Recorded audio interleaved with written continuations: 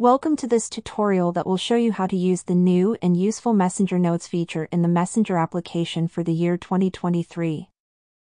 One of the platforms that continually evolves and provides users with more connectivity options is Facebook Messenger. In 2023, Messenger boasts new and innovative features, and one of them is Messenger Notes. In this tutorial, we will uncover everything you need to know about this new and useful Messenger feature. Before we begin, we need to check if our Messenger application is updated to the latest version. We'll do this by clicking on the App Store.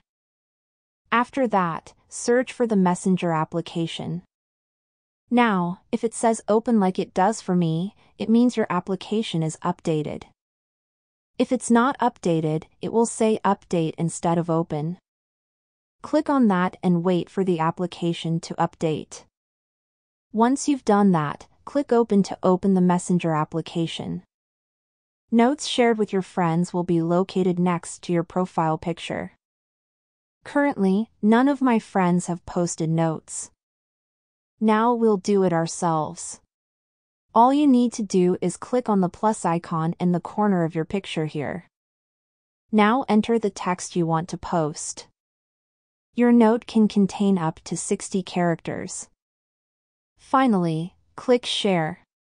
Your note will now appear at the top of your profile picture.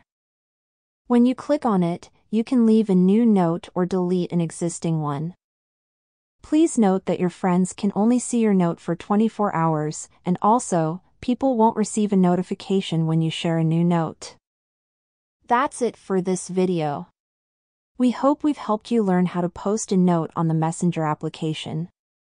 If this video helped you, please leave a like. Thank you for watching, and we'll see you soon.